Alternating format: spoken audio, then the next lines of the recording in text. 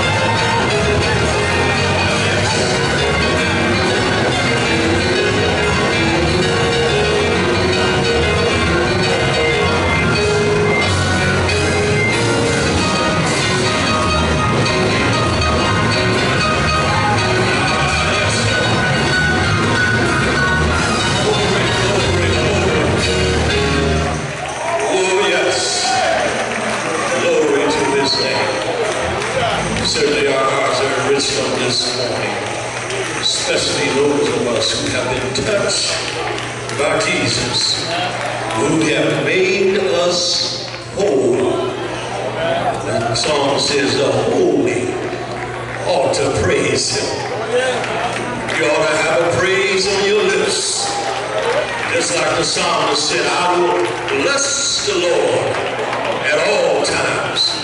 And his praises shall continuously be in my mouth. We don't want to stop praising God because it is tithe and offering time. And you can praise God in your giving because he certainly has been good to us. And those of you that may need envelopes, you may signal by the raise of your hand. One of our ushers will be so glad to assist you and give you one of those envelopes. And those of you that may need change, you can also